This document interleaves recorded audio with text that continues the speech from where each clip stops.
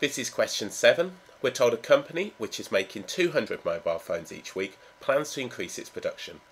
The number of mobile phones produced is to be increased by 20 each week from 200 in week 1 to 220 in week 2 to 240 in week 3 and so on until it's producing 600 in week n.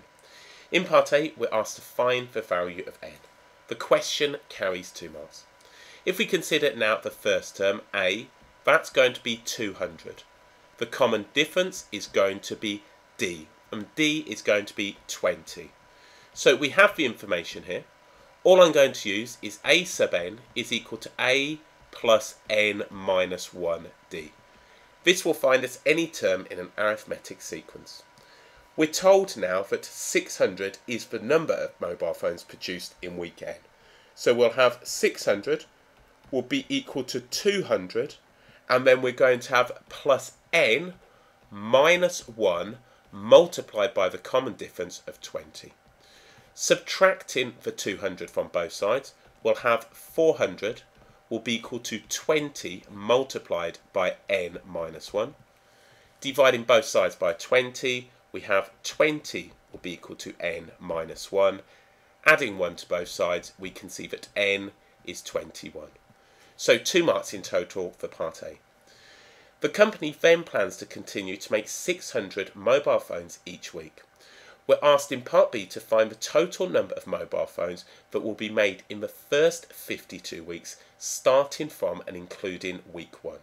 The question carries 5 marks. With this question, we need to split it into two parts.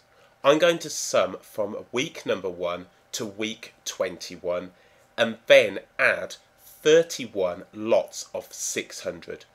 After we hit 600, each week we're going to simply produce 600 phones. So what we're going to do is look at the sum from r equals 1 to 21 plus we're going to have now the 31 times by 600.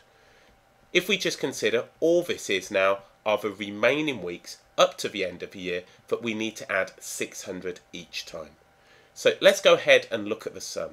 If we take the first term, the first term is 200. The number is going to be 21 and the last term is going to be 600. We can use the sum of n terms of an arithmetic series to sum this lot up. So the sum of n terms is n over 2 a plus l, where a is the first term and L is the last term. So we can say the sum of the first 21 terms will be 21 over 2. We will have 200 plus 600. So all I'm doing is simply substituting these in. So we've got the sum of the first 21 terms is going to be 21 over 2 and we'll have 800. So dividing the 800 by 2 and multiplying now by the 21, we can say the sum of the first 21 terms is going to give me 8,400. So all I'm going to do is take this now and add it to 31 times by 600. So if we do that, what we're going to have then now is 8,400. And if I just multiply it now 31 by 600, I'm going to get 18,600. Adding these two together, that's going to be a total of 27,000. So final answer for 5 marks, we're going to end up now with 27,000. So all I've done is summed the first 21 terms of the arithmetic series and then added 31 lots of this constant number of 600. There are a number of different ways that you can do part B. This is just one example. As long as you get 27,000 with adequate workings, you will be given the 5 marks.